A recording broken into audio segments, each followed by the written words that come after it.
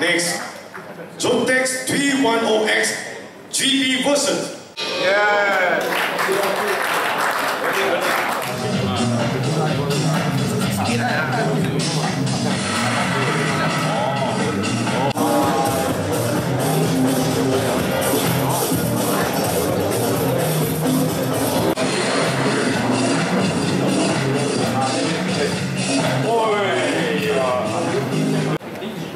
The price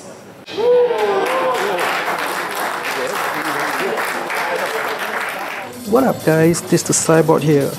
For today's video, we're going to be checking out the three new bikes coming from Zontes Malaysia, which is going to be the 310R, Naked version, 310X, Sport Touring version, and 310T for the Adventure version. So in a quick glance, we have three new bikes in front of us, but in essence, they are actually sharing a lot of similarities. So let's go quickly and check out what are the basic similarities that the three bikes share in common. And from there, we can go ahead to the differences. These three bikes are going to be having the same engine, which is a 312cc single cylinder. What else is similar is that all bikes are going to be having ABS. So you have ABS, Bosch ABS on it for safety. All bikes are having LED lights so it's the headlight, tail light, signal lights, all lights on the bikes are going to be LEDs. The display on the bikes are all LCD display, alright? So there's no uh, analog displays, everything is digital on uh, LCD.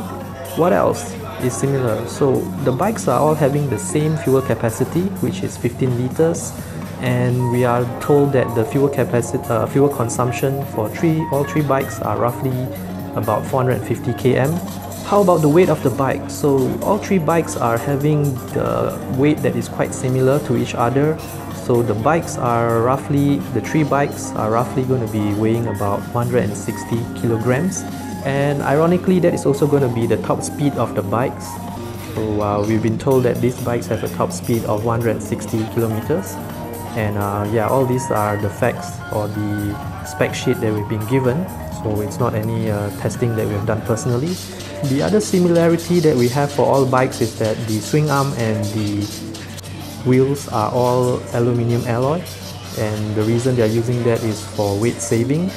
And yeah I've personally sat on the bikes and they do feel light even though the size of it the physical size the presence of the bike looks more like a larger cc bike but the weight of it doesn't uh, really affect the handling of the bike to move it around and stuff. So it's a pretty good deal for the weight for this type of bike category. The other thing that all three bikes have in common is also going to be the uh, keyless system. And uh, yeah, you heard it right guys, it's all going to be keyless. It's just a remote. So when you buy the bike or you own this bike, you are not going to be given any key. You're just going to give, be given a remote. And everything that you need to open on the bike is all using uh, buttons or switches that is available on the handlebar. So yes if you need to open your fuel cap fuel tank you'll need to press a button. And if you want to open your seat you need to press a button. I'm not really 100% uh, sure if I'm uh, really liking this type of system where it's fully keyless because maybe I'm old school but uh, yeah I think it's I still feel that it's better if I had a key with me but who knows you know it's something that is uh, going forward to the future. And speaking of future looking at the design of the bike the stylings of all the bikes you can tell that it's definitely having a futuristic design very aggressive and uh, it looks sharp a lot of angular lines on the bike so I'm really liking the design on all three bikes uh, if I had to pick, I think the most aggressive look will probably be the Naked or the 310R. So yeah, they really did a number. The tail lights look pretty badass as well. So now that we're talking about the styling of the bike, this is actually going to be part of the differences of the bike. So all three bikes are in three different categories. So you have the Naked, you have your Sport Touring and you have your Adventure. So when you have these different bikes, obviously the geometry, the uh, riding position is going to be slightly different for these three models and actually that is going to be pretty much in essence what the differences are amongst these three bikes. So if you were to compare between these three bikes, like which is the better one, it's going to be actually you're comparing pretty much a similar bike. It's just that which is your your preference. Do you like the naked for the urban riding? Do you want to have some sporty touring kind of feel, or you want to go straight on full adventure?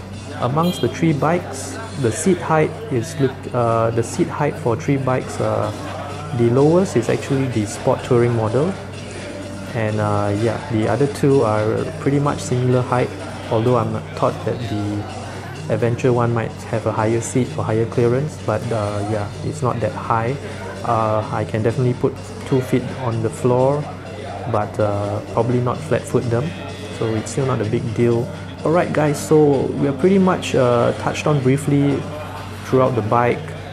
And uh, I must say that uh, in a glance these bikes really are eye-catching the exhaust also is coming out from the side. It looks something like maybe a MV Agusta or even like uh, a Ducati Multistrada with the pipes coming out at the high. It's uh, yeah coming up from the sides and it's a dual exhaust pipe uh, setup. I can honestly say that these bikes on the road will definitely be eye-catching. And I must say that uh, the prices look pretty good. And for the adventure version the price that you're going to see is actually going to be the price that you have with all the accessories on with your handguard protector with your crash bar and with the three top boxes that you see. So that's about it guys. I hope you guys enjoyed this video and I do hope that we have future chances to test ride the Zontes, to uh, have a real good go for it, real feel for it. Until the next one guys, this is going to be the SighBored here. Ride safe and safe ride.